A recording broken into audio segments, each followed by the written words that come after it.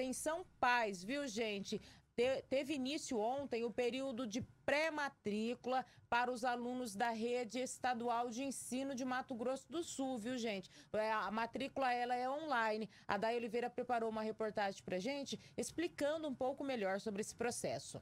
Para fazer a matrícula, os interessados devem acessar o site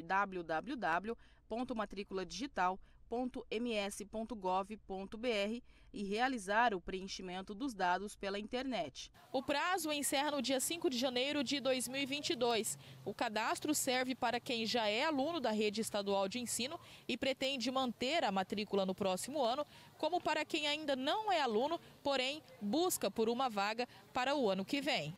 A abertura do período de pré-matrícula vale também para os estudantes que desejam realizar transferência entre escolas da rede estadual de ensino. Para possíveis dúvidas, o interessado poderá entrar em contato através do telefone 0800 647 0028.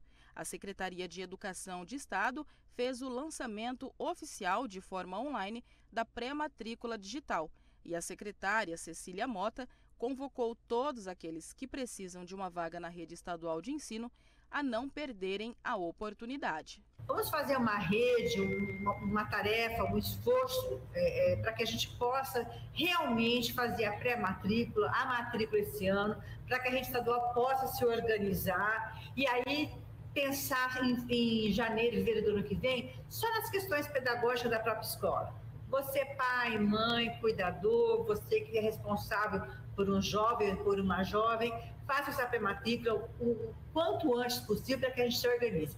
Um grande abraço, espero vocês na rede estadual de ensino, todos vocês em 2022. Muitas surpresas, muitas coisas boas para todos vocês, queridos alunos.